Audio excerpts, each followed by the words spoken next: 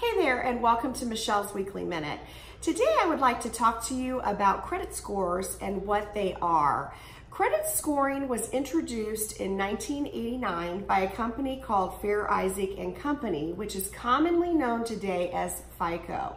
Now, the majority of banks and lending institutions are using the FICO module to make a lending decision on you. And what is happening is that FICO module is actually being incorporated into Experian, TransUnion, and Equifax's systems to actually come up with a three digit number based on each credit report for you.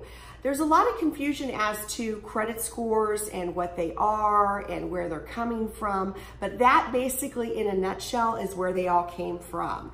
Um, the uh, A lot of people don't realize they have three FICO credit scores because they have one from each credit file.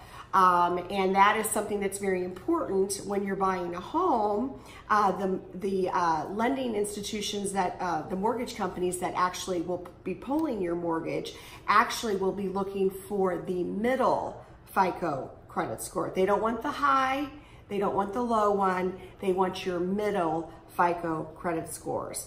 I tell all of my clients the best way to get an accurate picture of what your FICO credit scores are, the best place to get them is myfico.com. That is actually the, the, the main source where they originally started from. They are the ones that have the main information. Now it's going to cost you to get what they call a, um, a merged file with um, your actual credit scores for each of your credit bureaus, but it's worth it. I think it's like $39.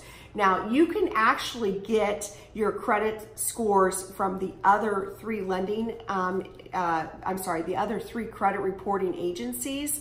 Um, Experian has their own credit uh, way of giving you your score now, TransUnion and Equifax.